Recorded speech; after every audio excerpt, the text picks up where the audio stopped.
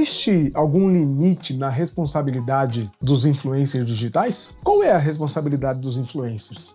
Já parou para refletir nisso? Eu quero saber a tua opinião. Mas, para você poder opinar, eu preciso que você veja esse vídeo até o final para entender o caso e depois dê a sua opinião nos comentários, tá certo? A gente bate um papo nos comentários, eu quero saber muito a sua opinião sobre isso. Bom, por exemplo, eles vivem de vender e expor é, produtos. Essa é uma importante fonte de renda dos influencers, inclusive aqueles que fizeram muito sucesso aqui no YouTube ou lá no Instagram. Bom, a Justiça do Estado do Rio de Janeiro decidiu que a influencer Virginia Fonseca deverá ressarcir uma consumidora que adquiriu um smartphone de uma empresa que contratou a Virginia para fazer uma publi, não é? Para fazer a indicação dos seus produtos, mas a empresa não entregou o produto. Aliás, depois descobriu-se que tratava-se de uma grande fraude, um grande golpe aplicado em todo o Brasil, e a imagem da influência e a influencer foram manipuladas para poder fazer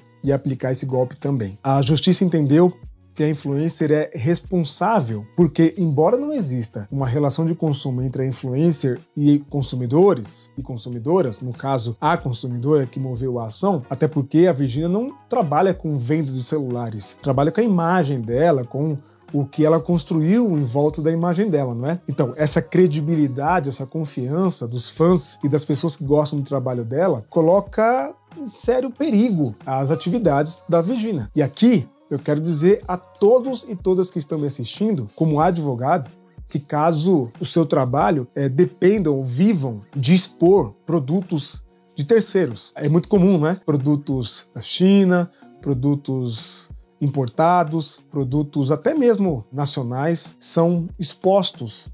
E aí é preciso que o influencer tome cuidado e verifique a idoneidade das empresas que estão contratando o seu trabalho, contratando a exposição ali da sua imagem. Isso porque, como eu estava dizendo, a Justiça do Rio de Janeiro entendeu que, embora a, não exista uma relação de consumo entre a Virgínia e a consumidora, a consumidora só comprou o celular, o smartphone, porque confiou na Virgínia. E a decisão se baseou no artigo 927 do Código Civil. Veja comigo o que diz o artigo 927 brevemente haverá obrigação de reparar o dano, independentemente de culpa, nos casos especificados em lei, ou quando a atividade normalmente desenvolvida pelo autor do dano implicar, por sua natureza, risco para os direitos de outrem. Segundo o juiz, as atividades da Virginia também consistem em expor produtos. E essa exposição é de indiscutível influência. Logo, porque a Virginia ofere lucro sobre essa influência, né, sobre essa exposição, ela deve reparar o golpe sofrido pela consumidora, que porque confiou na Virginia, comprou, pagou, mas não recebeu. Logo, a responsabilidade aí da Virginia é objetiva segundo o Código Civil. O que quer dizer isso? Em breves palavras, não precisa que seja comprovada a culpa para que ela seja condenada a pagar, caso a empresa desapareça, como é o caso. E aí?